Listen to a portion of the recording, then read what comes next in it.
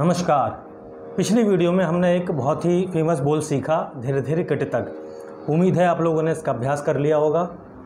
और पिछली वीडियो में मैंने कई सारे कलाकारों के नाम लिए, पुराने और जो आजकल जो इन्होंने धीरे धीरे को फ़ेमस बनाया।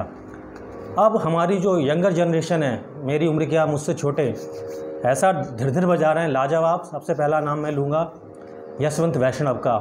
आप सुन सकते हैं यूट्यूब पर सुना ही होगा आपने। उसके बाद ईशान घोष। जवाब नहीं उनका, क्या तबला बजाते हैं दोनों? उन्होंने भी धीरे धीरे को कहाँ से कहाँ पहुँचा दिया, उनको आप सुन सकते हैं। तो चलिए धीरे धीरे मुझे उम्मीद है कि आपने कर लिया होगा अभ्यास। अब हम इसका रेला सीखेंगे आज। रेला बनारस घराने का हम सीखेंगे। बनारस में धीरे धीरे का ज़्यादा यूज़ होता है। तो फ़ेमस एक रेला है बनारस का।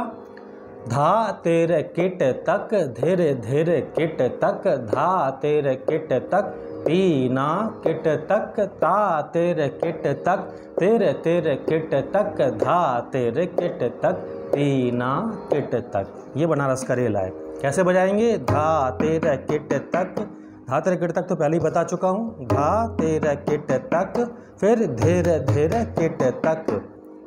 फिर धा तेरे किट तक, तीना किट तक, तीना किट तक।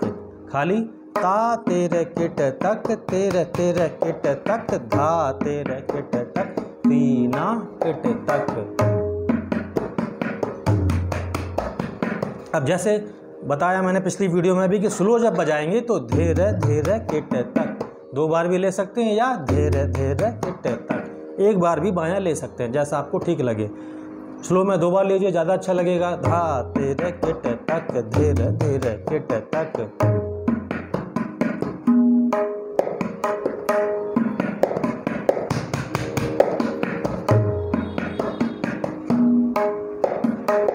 ये हुआ।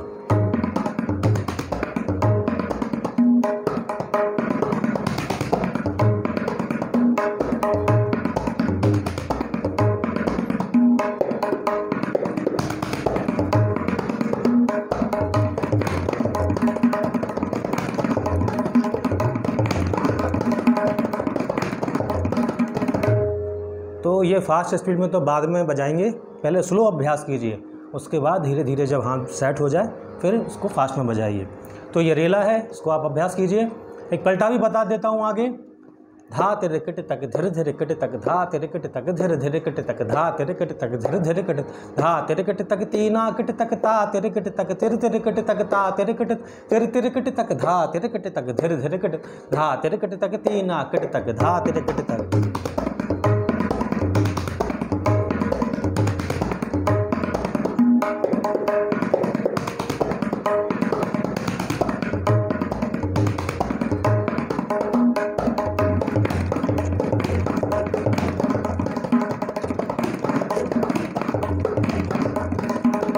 ये हुआ।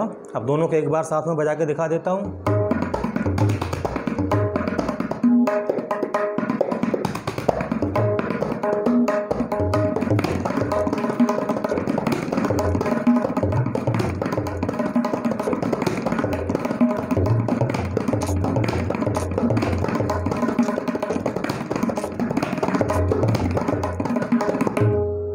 तो एक रेला सीखा आपने, उसका एक पलटा सीखा।